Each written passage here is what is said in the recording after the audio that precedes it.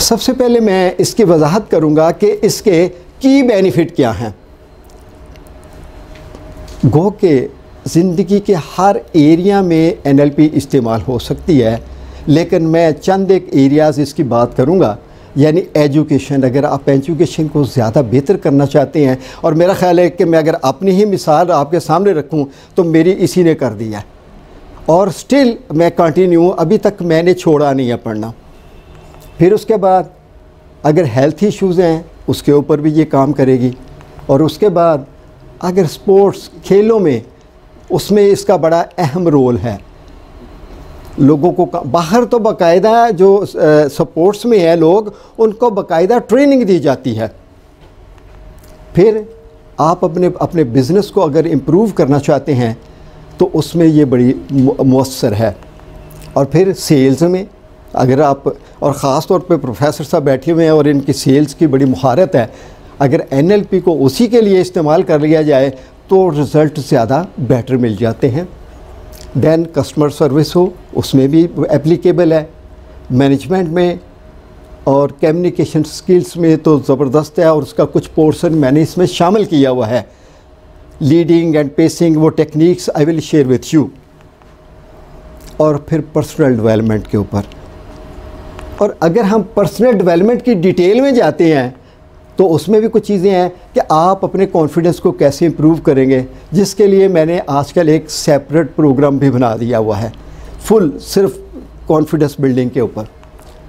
Then अगर shyness को overcome करना चाहते हैं आप, और ये पर्सनल डेवलपमेंट में आती हैं सारी बातें फिर setting and achieving goal is a very important कि किस तरह सेट करना है और किस तरह अचीव करना है, उसको डिटेल से ये बताती है एनएलपी हमें।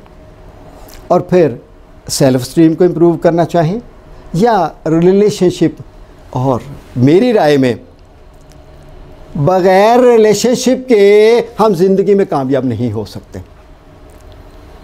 एवरी एरिया में रिलेशनशिप है। कोई काम नहीं हो सकता, बता दे। अगर टीचर है या स्टूडेंट है तो रिलेशनशिप है पेरेंट है रिलेशनशिप है। मेरा और आपका रिलेशनशिप है। अगर ये नहीं होगा तो हम कामयाब नहीं हो सकते। तो एनएलपी इसमें बड़ा रोल प्ले करती है ख़ास तौर पे जब आगे चल के रैपोर में आएँगे, वहाँ पे इसकी टेक्निक होंगी कि किस तरह हम एक दूसरे के करीब हो सकते हैं।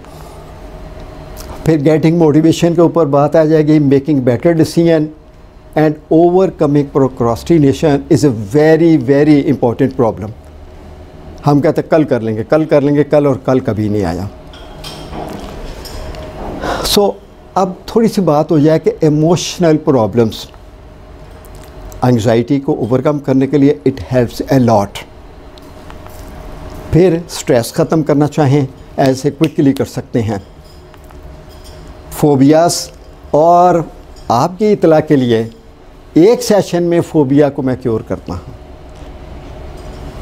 इसमें मेरी ख़ास एक्सपर्टीज़ हो चुकी हुई है, ख़ास तौर पे फ़ोबिया क्योर फ़ोबिया क्योर्स में। देन ग्रीफ रेजुलेशन इसके लिए स्पेसिफिक टेक्निक्स हैं इसमें। Panic attack is a very common और देन बैड हैबिट्स और ख़ास तौर पे पी टी एस डी ये ये मर्ज भी इसके बारे में आगे चल के थोड़ी सी वजाहत भी करूँगा मैं। कि ये दूसरी जंग असीम में इसको दरियाफ्त किया गया था। इसको हल करने के लिए एन एल पी बहुत ज़्यादा मवसर है।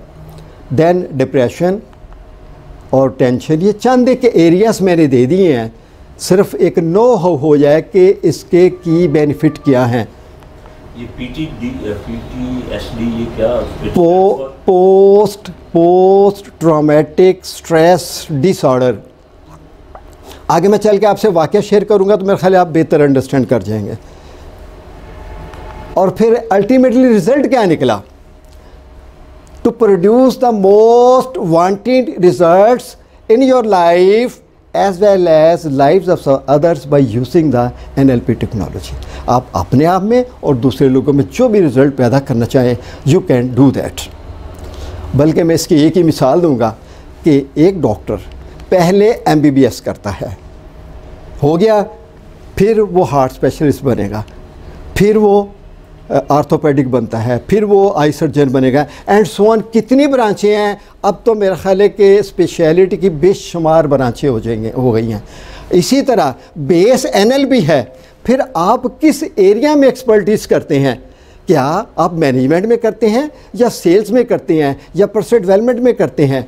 जिस भी एरिया में करना चाहेंगे, ये फिर आपके आगे ब्रांचें बनती जाएँगी। लेकिन बेस एक ही रहेगी।